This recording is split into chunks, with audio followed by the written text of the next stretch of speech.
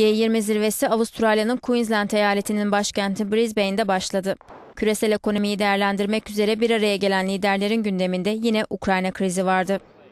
İngiltere Başbakanı David Cameron, Rusya'ya uygulanan yaptırımların genişletilebileceği uyarısında bulundu. Birleşmiş Milletler Genel Sekreteri Ban Ki-moon ve Avrupa Konseyi Başkanı Herman Van Rompuy da basın açıklamalarında Rusya'yı hedef aldı.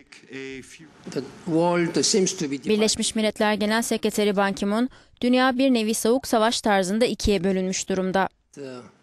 Çözülmeyi bekleyen sorunların Minsk protokolüne ve Rusya'nın da kabul ettiği hatta Avrupa Birliği ve Amerika Birleşik Devletleri tarafından hafifletilen muhtıraya uygun bir şekilde sonuca bağlanmasını umuyorum dedi.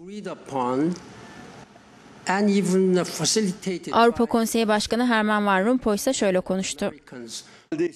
Şu anki en büyük endişe G20 zirvesinin gündeminde olmamasına rağmen Ukrayna'daki durum ve artan askeri gerilim. Avrupa Birliği sorunun siyasi çözümü olduğuna inanmayı sürdürüyor. Yaptırımlar da dahil olmak üzere sahip olduğumuz tüm diplomatik yollara başvurmaya devam edeceğiz.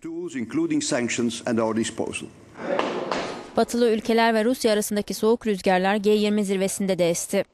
Bu gergin ortamda dünyanın önde gelen liderleri başta vergi kaçakçılığı olmak üzere küresel mali konuları masaya yatıracak. G20 zirvesi yarın ortak bildirimin yayınlanmasıyla son bulacak.